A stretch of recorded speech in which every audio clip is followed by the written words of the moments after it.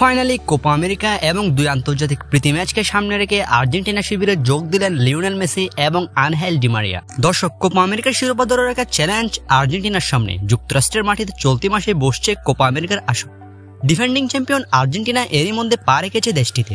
সেখানে টুর্নামেন্ট শুরুর আগে নিজেদের জালিয়ে দিয়ে দুটি প্রস্তুতি ম্যাচ খেলবে আলবিসেরেস্তারা আর্জেন্টিনার অধিনায়ক এবং সেরা খেলোয়াড় লিওনেল মেসি এখন খেলেন যুক্তরাষ্ট্রের মেজর লিগ সকারের ক্লাব ইন্টার মিয়ামিতে কোপা আমেরিকা এবং দুই প্রস্তুতি ম্যাচকে সামনে রেখে আর্জেন্টিনা দলের সঙ্গে ইতিমধ্যে মেসি যোগ দিয়েছেন গতকাল।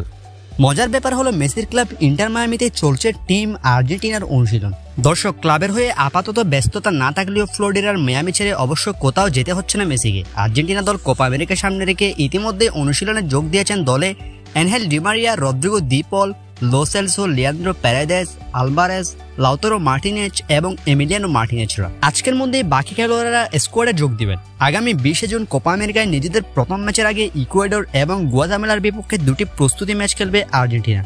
নয় জুন প্রথম প্রস্তুতি ম্যাচটিতে ইকুয়েডরের বিপক্ষে মাঠে নামবে মেসিরা।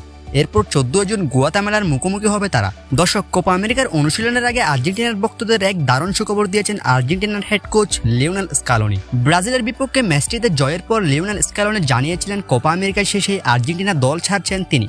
কিন্তু এবার যেন স্বস্তির খবর দিলেন স্কালোনি। যুক্তরাষ্ট্রের মাটিতে পৌঁছে লিওনেল স্কালোনি গতকাল জানিয়েছেন, আর্জেন্টিনা ফুটবল অ্যাসোসিয়েশন যতদিন চাইবেন ততদিনে তিনি আর্জেন্টিনার কোচ হয়ে থাকবেন।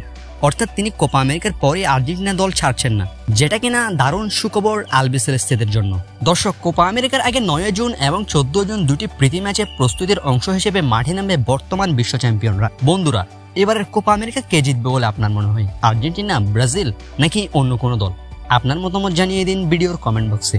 ভিডিওতে অবশ্যই একটি লাইক দিয়ে চ্যানেলটি অবশ্যই সাবস্ক্রাইব করে রাখুন।